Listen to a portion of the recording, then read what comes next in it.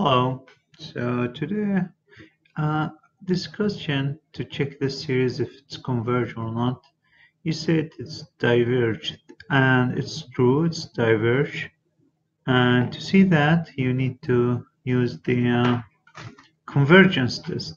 The divergence test, we need to check the limit as n goes to infinity of cosine and pi over n over 1 over n. I will show that this limit does not exist. The first thing I could show first is this limit. This limit in fact doesn't go to 0 because this one is one of the indeterminate forms so I will not check this limit but I will check a limit which is the reciprocal of it which is 1 n to 1 over n as n goes to infinity. And this one is the uh, infinity to 0 one of the indeterminate form. And to use this one to how to solve this one we will use the trick inserting the ln and the exponential of that.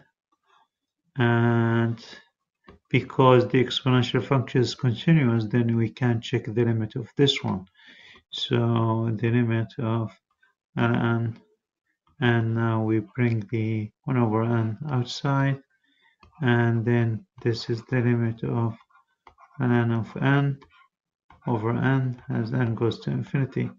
Now this is infinity over infinity so we can use L'Hopital so this one going to be 1 over n this is 1 and as n goes to infinity this is 0 so the value of this is 0 and e to the 0 is 1. So this is 1, so this limit also is 1.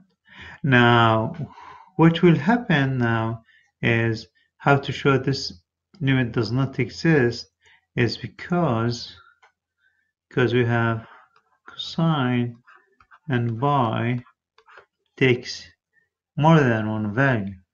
What are the values sine and pi can, could take? It can take 1, it can take negative 1.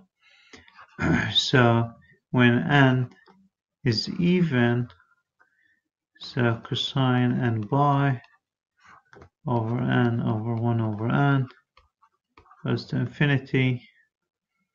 This one and even is going to be 1 and odd is going to be negative 1 whatever as long as the limit does not exist or the limit is not equal to 0 then the series diverge. Okay so the series diverge.